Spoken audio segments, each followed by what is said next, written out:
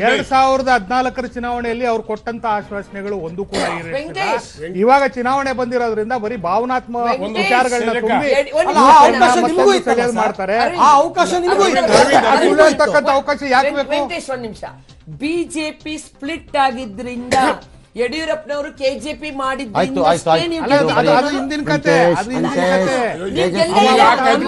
Sorry I am sorry I am sorry ಇದು Karnataka I am sorry Arvind. Arvind Arvind Arvind.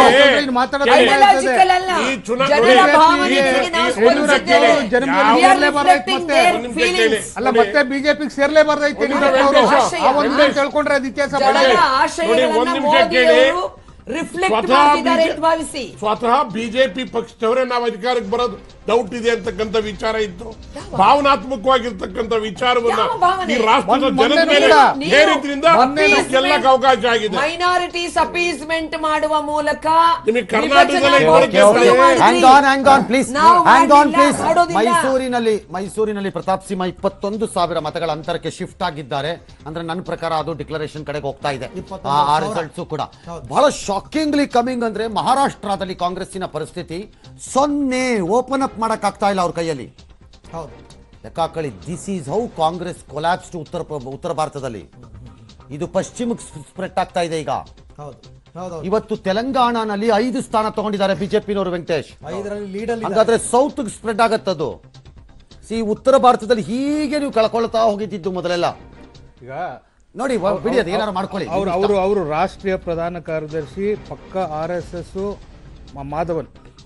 ಮಾಧವನ್ನೇ ಹೇಳಿದ್ರು ಈ ಒಂದು ಚುನಾವಣೆಯಲ್ಲಿ ನಮಗೆ ಸಂಪೂರ್ಣವಾದ ಬಹುಮತ ಬರಲ್ಲ. ನಾವು ಬೇರೆ ಪಕ್ಷಗಳನ್ನ ಸೇರ್ಕೊಂಡೇ ಮಾಡ್ಬೇಕು ಅನ್ನೋ ಆತರ ಆ ತರ ಇದ್ದಿದ್ದಾಗ ನಿಮ್ ಬಿಜೆಪಿ ಅವ್ರಿಗೆ ಅನುಮಾನ ಆಯ್ತು.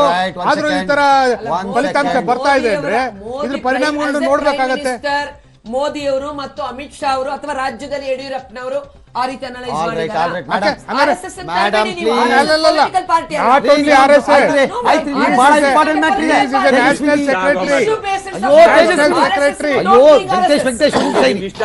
ಬಹಳ ಇಂಪಾರ್ಟೆಂಟ್ ಮ್ಯಾಟ್ರ್ ಇದೆ. ಕೇಳಿಸ್ಕೊಳ್ರಿ.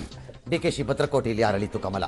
ಆ, ಆರನೇ ಸುತ್ತಿನ ಮತ ಎಣಿಕೆ ಮುಗಿದ ನಂತರ ಡಿ ಕೆ ಸುರೇಶ್ ಮಂತ ಡಿ ಕೆ ಸುರೇಶ್ ಎರಡು ಸಾವಿರದ ನೂರ ಎಂಬತ್ತು ಮತಗಳಷ್ಟೇ ಅಂತರಕ್ಕೆ ಬಂದಿದ್ದಾರೆ. ಅಂದ್ರೆ ಮ್ಯಾಸಿವ್ ಡೌನ್ ಆಗಿದೆ ಸರ್.